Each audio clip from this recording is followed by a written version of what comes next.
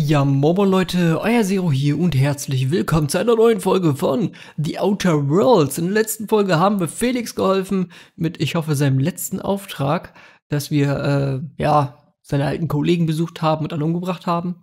Heute geht es endlich zur verlassenen Station, eine Quest, die wir schon vor Ewigkeiten bekommen haben.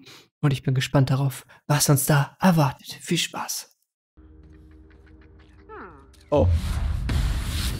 One down. Wie die das nicht mitbekommen hat.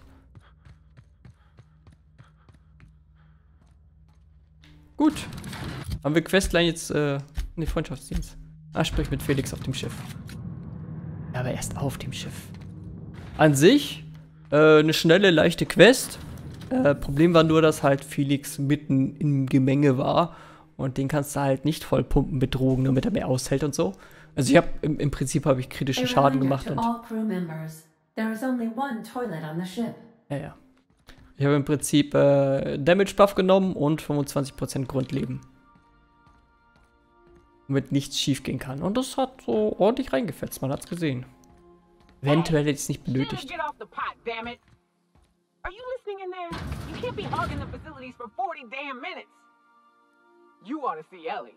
You got a condition or something. Der wäscht sich nur die Hände. So. This is. This is definitely not how I imagined it'd end. The void's black, water's wet, and Clyde hated the board. That's something I just knew. Now? I don't know. I don't know what to think. Ich denke, Clyde war eigentlich ein guter. Also ich kann mir nicht vorstellen, dass so viel Hass sich in Zuneigung umwandelt. Das weiß jeder von euch.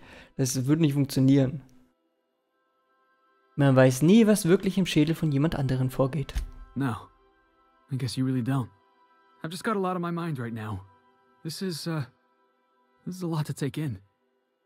I always looked up to Clyde. The thought that he could be an agent of the board is just abhorrent to me.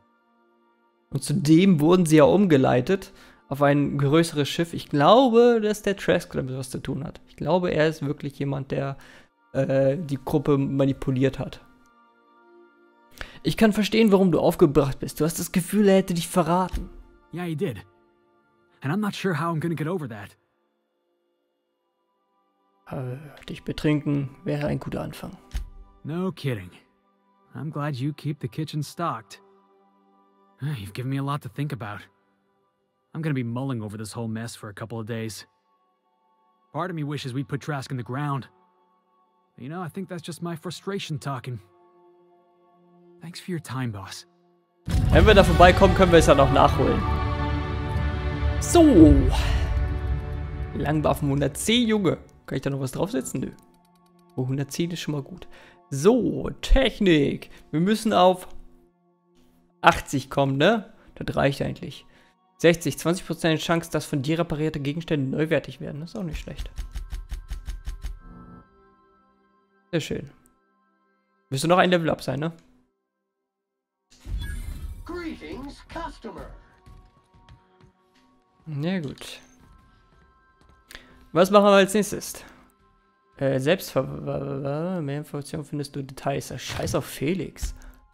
ich habe nur seine Quest gemacht, weil ich ein scheiß Sammler bin. Also.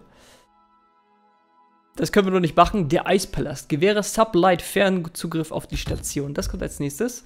Und dann erst radiofreies Monarch. Jetzt können wir endlich wieder was Neues erkunden. HFS 1084. Ich komme. We've reached HRS-1084, Captain. It's emitting a very weak docking signal. I almost mislabeled it as normal etheric static. Das ist einfach so cool. Gebäude im Weltall zu haben. Wir brauchen eigentlich gar keinen Planeten. Wir brauchen einfach nur sowas, Leute. Einfach nur sowas. Gut, wenn da mal Energie oder so ausfällt oder Katastrophe kommt, ist natürlich scheiße. Aber was soll's. So. Wir sind ein bisschen durstig, aber gut. Oh, Waffenvorteile. Oh Gott. Was mache ich denn da?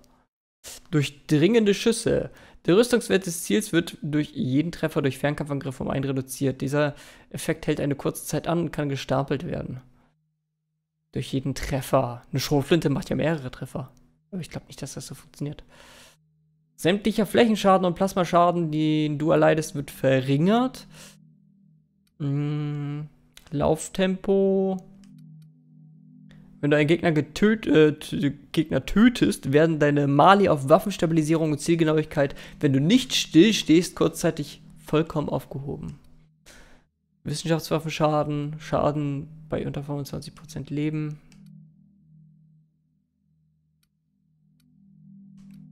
Ja, ich würde sagen, wir machen das hier. Dann ist das so der Notfall. Dass wir ordentlich nochmal reinkloppen. Der Eispalast. Weiß nicht, was mich hier erwartet.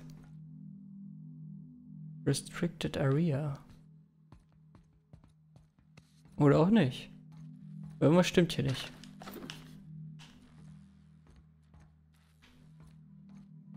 Sind die Roboter amok gelaufen? Das ist ja immer so, so ein so ein Ereignis, was gerne genommen wird.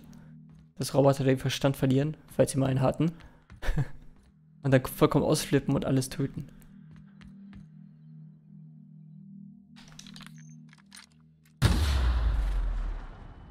Klasse. Einfach klasse. Aber ich habe da noch was dabei. Und zwar der negative Statuseffekte. Okay, dann sollten wir direkt mal noch was trinken, wenn wir was haben. Wird langsam eng hier, ne? Likör. Haben wir noch? Wein, na gut. Willst du was Normales zu trinken? Wodka. Oh Gott, ich habe kaum noch was Normales zu trinken. Oh, dauerhafte Gehirnerschütterung. Du wurdest paar Mal zu oft am Kopf verletzt, was sich negativ auf deine geistigen Fähigkeiten ausgewirkt hat. Nö. Brauche ich nicht. Ich brauche noch ein Level und dann habe ich eigentlich alles, was ich haben wollte. Ist einfach alles leer. Habt ihr Getränke für mich? Weißt du, lebe auf einer Raumstation. Wir haben hier keine Getränke. Wollt mich verarschen? Pfannkuchen. Oh, Purpleberry Crunch. Ja, fast. Purpleberry Shake. Halbvollmilch. Sirup. Wodka. Wieso ist hier überall Alkohol? UDL? Ausweismodul. Oh. Wir können uns also jetzt in dieser Restricted Area bewegen, wenn sie denn aktiv ist. Ich weiß nicht, vielleicht finden wir noch eine aktive. Aber es wirkt für mich jetzt nicht wirklich, als wären das irgendwie, ja, aktive Gegenden, wo man nicht rumlaufen darf. Sieht halt wirklich kaputt aus, wenn du mal so guckst. Oh, ich bin jetzt überladen wegen der Scheiße, ne?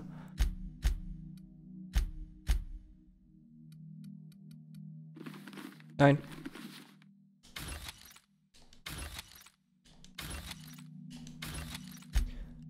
Aber habe ich gar nicht mehr so viel dabei. Oh, ich muss beim nächsten Automaten mal den ganzen Schrott verkaufen. Wie viel kann ich denn... Was habe ich denn dabei, das zu viel wiegt? Oh, was bist du denn? Schloss knacken. Na gut, behalte ich aber trotzdem.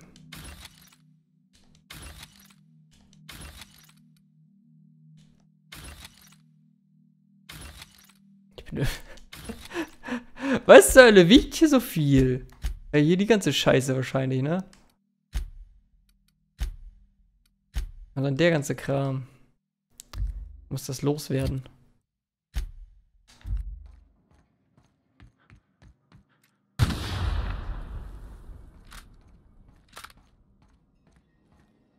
Okay, hier ist ein Ziel.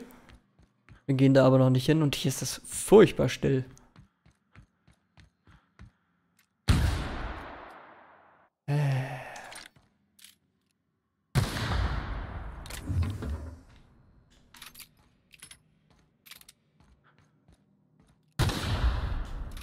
Hören wir doch auf.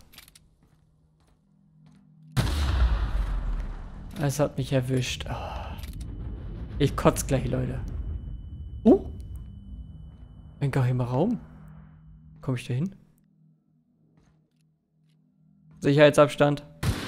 Daneben zielen und treffen.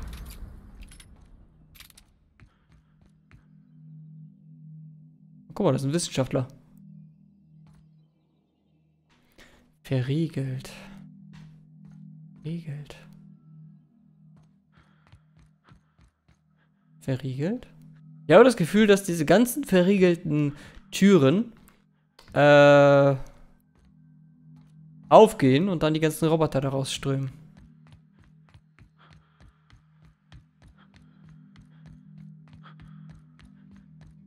Ich höre nämlich auch gar nichts, keine Schritte, kein gar nichts.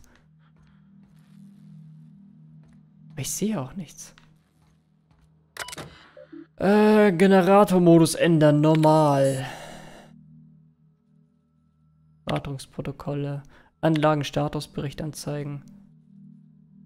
Problem 1. Toilette in der Wartungskaserne nicht spülbar. Toilette reparieren. Fehler. Arbeitsauftrag existiert bereits. Der vorhandene Arbeitsauftrag wurde vor 991 Tagen erstellt. Letzter Zugriff erfolgte vor 991 Tagen. Also es ist schon sehr, sehr lange her. Oh, I see you have activated your holographic shroud, Captain. Excellent. Becoming indistinguishable from an authentic UDL trooper will prove advantageous to your current situation. Was ist los, Ada? A UDL vessel has been tracking our position and just recently docked with the station. They are patching into the station's transmission lines now. I cannot stop. I've been waiting for this day since we tagged your ship in Cascadia, Captain. I. Wait, who are you? No one told me we had security forces deployed on the station already. Hier ist alles äh, wieder in bester Ordnung. Äh, uns geht es gut, und ihr? You're fine? Who is this? What's your operating number? Uh. Belay that. I don't know how you've managed to look like a UDL trooper, but there's no way you're one of us. Ich glaube, du hast den falschen Kerl erwischt. I think not. The refueling system at Cascadia's landing pad logged your ship ID. You've been poking your nose into restricted locations. This makes my superiors unhappy. I could peel your ship open like a can of Borst. But I'm in a sporting mood. Ich hätte gerne äh, 3924 Bits. Was ist denn das für eine Zahl? Wer denkt, äh, ne, okay, nö. Lebendig bekommst du mich nie. I assure you that was never my intention. See you soon, Captain. The UDL gunship remains docked at the station. They must intend to board with a full squad of troops. Wieso gar kein Problem? Die mache ich platt. Verdammt, jetzt hätten mir die Minen geholfen. Okay.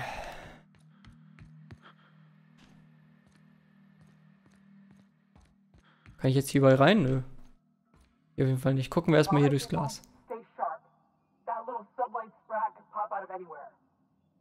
Greifen die mich an, wenn ich jetzt durchgehe? Hallo! Ich bin ein ganz normaler Dude. Bitte nicht töten. Dankeschön.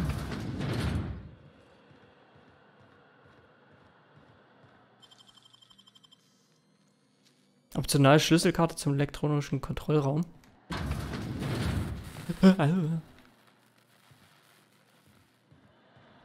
Scheiße, jetzt muss ich mich beeilen. Nicht. Nein. Okay. Wo bekomme ich das her?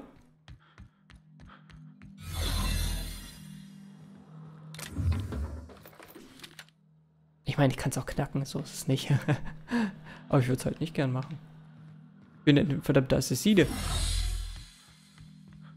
Okay, ich kann dreimal angesprochen werden. Habe ich hier irgendwas verpasst? Irgendeine Schlüsselkarte. Nö. Bestimmt einer von den Jungs dabei, ne?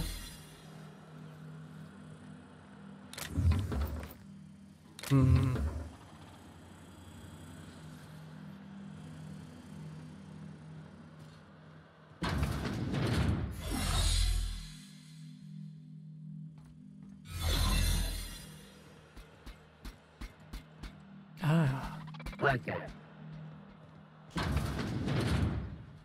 Bestimmt hier irgendwo. Haben wir jetzt nicht allzu viel Zeit? Ich glaube, die Zeit läuft da auch vorbei. Ah, guck mal. Das ist die Schlüsselkarte, ne? Schlüsselkarte, perfekt. Dann knacken wir mal das. Wie Zeit bleibt stehen, wenn ich stehen bleibe. Ah. Arbeitskleidung für Landwirte. Okay. Nicht der geilste Shit. Okay, ich kann mich in Ruhe umsehen, wenn ich stehen bleibe.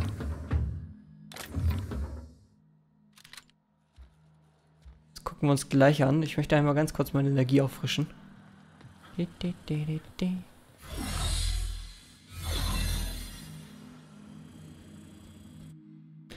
Ladungsverzeichnis, Etikett. Eine, eins, Kiste, UDL-Erschütterungsminen an HFS 1084. Ja, die habe hab ich gesehen. Die habe ich gesehen. Signiert von Sicherheitschefin Ida Kimball. Warnung. Inhalt kann beim Transport verlagert, äh, sich verlagert haben. Garantie erlischt bei sämtlichen detonierten Minen, unabhängig vom Detonationsgrund. Öffnung, Unbrauchbarmachung oder Zerstörung von Minen ist ein Kündigungsgrund. Minen sind zum Konzern nicht als sind vom Konzern nicht als Dekoration, Haustier oder Sportgeräte zugelassen. Minen sind nicht zum Verzehr geeignet. Minen sind nicht für Recyclingprogramme zugelassen. Nicht auf Minen stellen, setzen oder daran anlehnen. Minen sind nicht dein Freund. UDL übernimmt keine Haftung für getätigte oder unterlassene Handlungen von Minen. UDL weiß, dass du jeden, Arbeit, äh, jeden Anbieter von Fernzündungssprengmitteln hättest wählen können. Deine Wahl garantiert Produktqualität und Sicherheit für viele zukünftige Lieferungen. Vielen Dank, wir wünschen eine angenehme Detonation. Produktqualität und Sicherheit nicht garantiert. Okay. Was haben wir denn hier? Schlüsselkarte enkodieren. Oh. Nachrichten. So, Labor, haha, haha, Nachrichten. Okay. Von geschwärzt, betreff Schließung der Anlage. Ein Transportschiff wurde zu HFS 1084 entsandt. Ich habe mir die Freiheit genommen, die sensible Materialienwertung dieser Anlage zu erhöhen, was bedeutet, dass ihr markeneigene Verbrauchsgegenstände vom Bord nehmen dürft, aber alle persönlichen Besitztümer zurücklassen müsst. Bitte belasst die Tanks in ihrem jetzigen Zustand. Eine Reinigungscrew wird das obsolete Firmeneigentum beseitigen. Bei Bedarf einer Ethik-Korrektionstherapie mögen sich Mitarbeiter bitte an einen von Spare Spacers, nee, doch Spacer Care genehmigten Arzt wenden. Persönliche Daten. Vermerkung von Guthrie J. James ist fort und er hat nie von mir, hat sich nie von mir verabschiedet. Ich versuche mich davon zu überzeugen, dass ich ihn so in Erinnerung behalte, wie er vor dem Tank war. Oder vielleicht hatte er es einfach nicht so mit Verabschiedung. Als ich gesehen habe, was von ihm übrig geblieben ist, wollte ich alle, die dafür verantwortlich waren, aus der Luftschleuse werfen lassen. Du hättest doch etwas sagen können, James. Die Zeit war nie das Problem. Mich hältst du nun nicht mehr hier. Die Bits sind es nicht wert. Ich habe eine Versetzung beantragt. Ich habe das Gefühl, dass ich nicht die Einzige bin. James ist der im Tank, ne? Ich glaub schon. Von Chief Kimball. Kimball glaubt, nee, vermerkt zu Chief Kimball. Kimball glaubt, dass es Ärger geben wird, sobald den Wissenschaftlern die warmen Körper ausgehen. Wenn James noch hier wäre, würde er sie beschwichtigen. Da er jetzt fort ist, könnte ich auch ein wenig Überzeugung vertragen. Gestern ist sie zu meiner Koje gekommen. Sie sagte, so, sollte ihr irgendwas zustoßen, wäre ihr Passwort der Name ihrer Tochter. Ich hoffe nur, dass es nicht zu weit kommt. Ja, wie ist denn der Name ihrer Tochter? Kimball glaubt, dass es Ärger geben wird. Chief Kimballs Tochter. Ja, wie heißen die?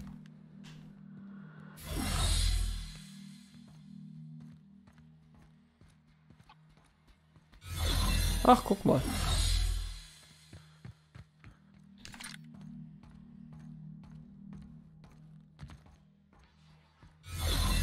Und du bist Wissenschaftler.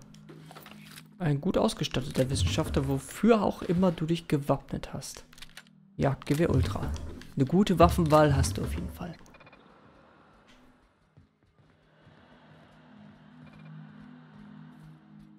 Na gut. Kann ich mich hier kurz refreshen, ne?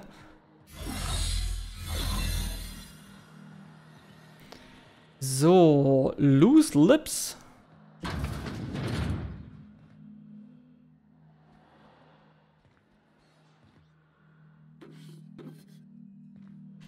Noch ein Terminal.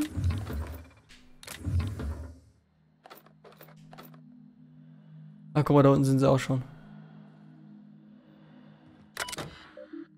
So, priorisierter Nutzer Kimball. So, so, so, Kimball. Geschwärzt, betreff deine Bedenken. Natürlich steht es schlecht um die Moral. Du hast diesen Forschern ganze Tanks voller Nukle Nukleinmutierte Gase gegeben und keinerlei warme Testkörper. Was dachtest du, was geschehen würde? Sie können ja ruhig gegenseitig einander herumexperimentieren, aber meine Leute fasst hier keiner an. Ich installiere Sicherheitsvorrichtungen für den Fall, dass jemand damit ein Problem hat. So, gute Nachtgeschichte auf ihre Tochter. Alles klar, hier kommt's. Es war einmal eine Prinzessin, die sich zur Soldatin ausbilden ließ. An Kimball. Ah, okay, Ashley vielleicht. Während die anderen Prinzessinnen sich in Büros und Konservenfabriken Arbeit suchten, übte die Soldatin auf der Schießbahn und sah zu, dass sie auch ja kein Ziel verfehlte. Eines Tages erschien ein sehr skrupelloser Mann und bot ihr einen Job in einem Elfenbeinturm fernab des Königreiches an. Die Prinzessin würde ihren kranken Vater, ihr geliebtes Kind und ihren einfältigen Ehemann versorgen können, doch dafür müsste sie in dem Turm bleiben, bis die Forscher einen Weg hinausfinden könnten.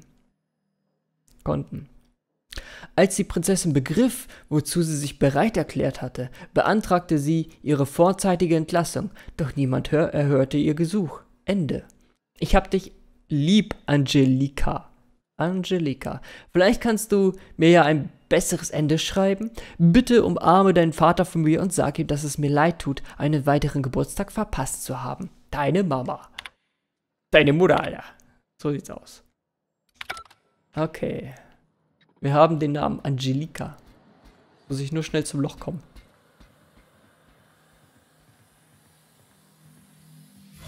Warum muss das immer so knapp sein? Und das ist doch eine Tür.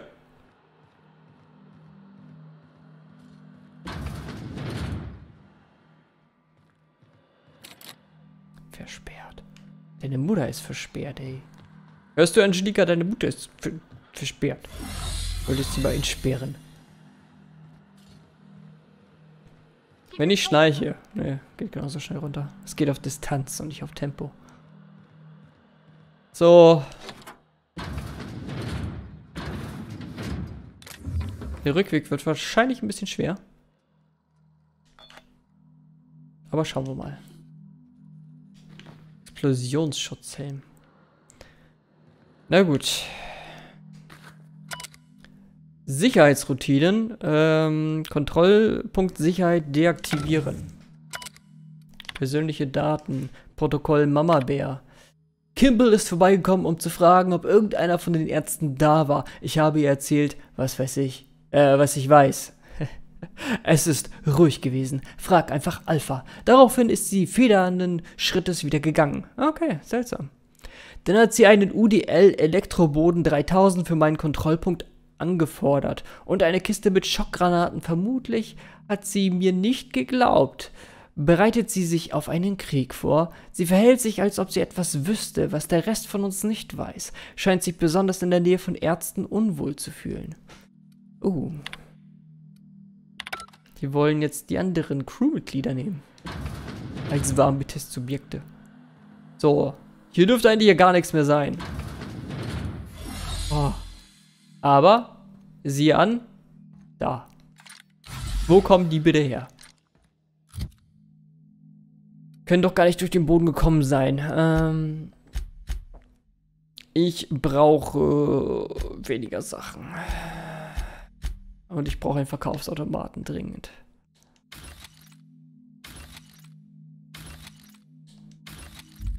Macht es ein wenig besser. Schlafkojen. Aber hier ist auch eigentlich niemand mehr. Klar, dieser Typ im Tank, aber der zählt nicht.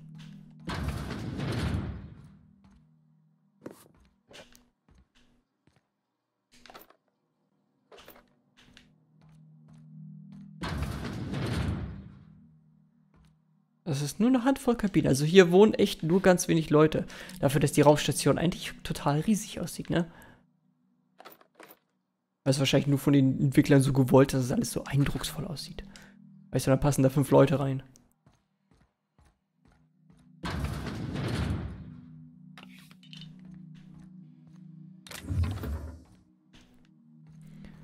Okay, weiter geht's. All searching for unauthorized persons. Willst, willst du mich verarschen?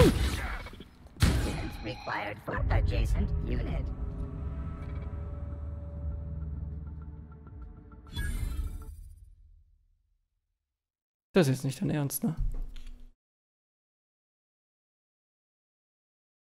Der hat mich durch die Tür gesehen.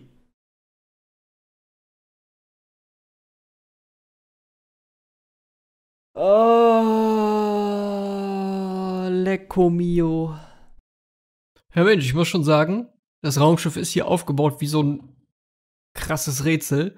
Macht schon Spaß, hier rumzulaufen. Ich hätte gerne mehr sowas, so Stationen im Weltraum, die man erkunden kann. Das, das, das gefällt mir wirklich. Das ist großartig. Und wie wir weiter vorgehen werden, das erfahrt ihr in der nächsten Folge. Ciao.